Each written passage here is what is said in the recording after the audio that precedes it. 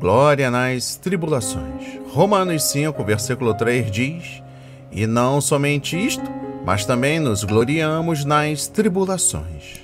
Graças a Deus. É alegria quando, entre as pedras de moer, esmagadas como uma azeitona, produzem apenas o óleo da gratidão. Quando machucado sob o manto da tribulação no processo de separação do joio e do trigo, o cristão rende a Deus o precioso grão de toda submissão. Ora, este é um pequeno céu na terra, para se gloriar nas tribulações também.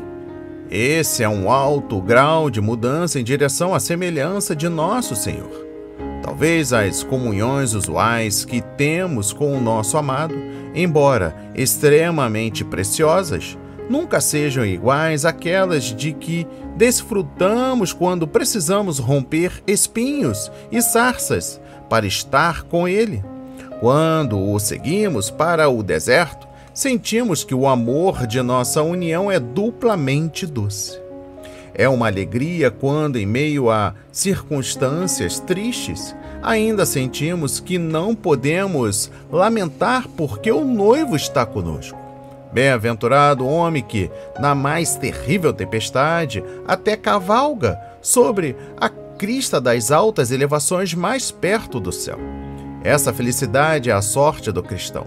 Não digo que todo cristão a possua, mas tenho certeza de que todo cristão deveria tê-la. Há uma estrada para o céu e tudo nela é seguro, mas é no meio dessa estrada há um caminho especial, um caminho interior, e todos que andam por lá são felizes e seguros. Vamos falar com Deus. Pai amado, bendito Senhor, meu Deus e meu Pai Jesus Cristo. No meio de provações e tribulações, ajude meus olhos a focar apenas em Ti, meu Deus. Quando minhas emoções estiverem dispersas e meus pensamentos tirarem o melhor de mim, Pai, deixe meu coração e alma correr apenas para Ti. Suplico em nome de Jesus. Eu louvo e agradeço e enalteço para todos sempre. Amém. E graças a Deus, graças a Deus. Não hesite, compartilhe o nosso trabalho, deixe o seu like, o seu comentário, nos recomendem, se inscreve no nosso canal.